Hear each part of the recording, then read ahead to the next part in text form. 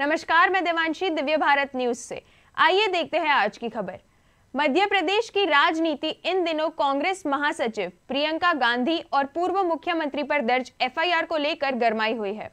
FIR प्रदेश की शिवराज सिंह चौहान की सरकार को कमिश्नर खोर बताए जाने के खिलाफ दर्ज कराई गई है। अब इस मामले में प्रदेश कांग्रेस अध्यक्ष कमलनाथ ने कहा है कि पूरा प्रदेश जानता है कि कितना भ्रष्टाचार है, कितना कमीशन है लोग तो खुद लगे हैं, उनके खिलाफ कार्यवाही हो। पूछताछ के लिए बुलाने जाने वाले सवालों पर उन्होंने कहा कि जब होगा तो होगा। उन्होंने ये बात समाचार एजेंसी एएनआई से कही है। प्रदेश में 50 फ़ीसदी कमीशन वाले ट्वीट पर प्रियंका गांधी और अन्य कांग्रेस नेताओं के खिलाफ 41 से अधिक जगह पर एफआईआर दर्ज कराई गई है। एफआईआर दर्ज होने के बाद से बीजेपी और कांग्रेस काफ़ी आक्रामक है।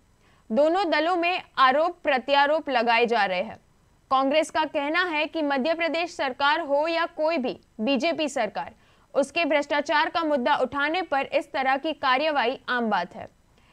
हम इस, इससे डरने वाले नहीं हैं। भ्रष्टाचार का मुद्दा उठाते रहेंगे। कांग्रेसियों ने एक बार फिर मध्य प्रदेश सरकार भ्रष्ट बताया है।